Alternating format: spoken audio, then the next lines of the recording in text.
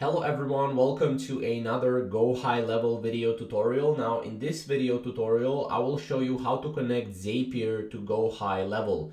Now before we get started for this, you will need a Go High Level account and plan. Now if you want, you can get a 30 day free trial by going to the link down below and uh, yeah you will get a 30 day free trial on go high level so uh, let's get started so how can you connect zapier to go high level so first of all you want to go to uh, dashboard on Zapier.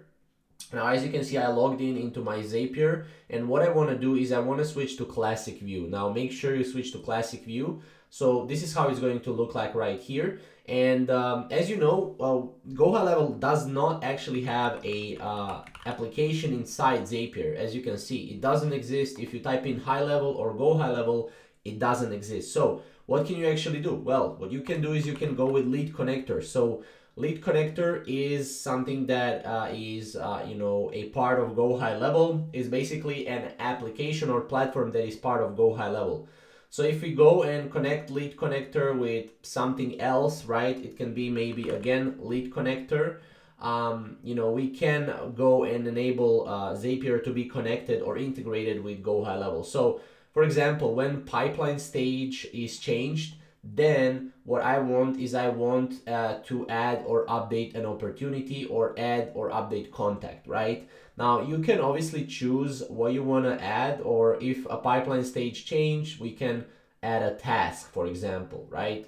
Uh, so we can try it here. Obviously for this, you will need to go through, uh, you know, adding um, a lead connector here. You'll need to sign in and authorize uh, lead connector, as you can see, will have API key. So you'll actually need to go here and see how you will be able to connect an API key. Um, it's fairly simple. Obviously, we need to sign in into our account here. So let's just sign in into our account.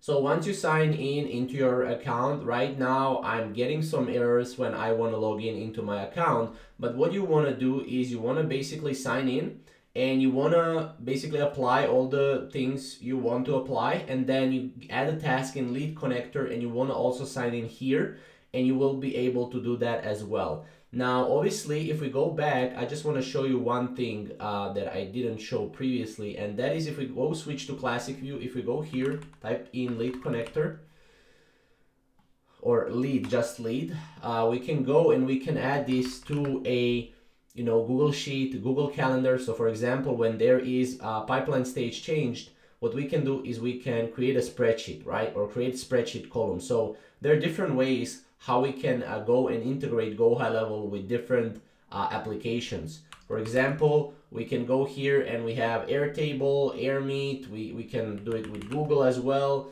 You know, Google Calendar, Google Drive, Google Forms. So we have a bunch of different ways how to integrate Zapier to Go High Level. Now, uh, what I want from you is comment down below uh, what do you want to see next in terms of uh, you know lead, uh, lead connector and connecting go high level with another app? I can create a video on that.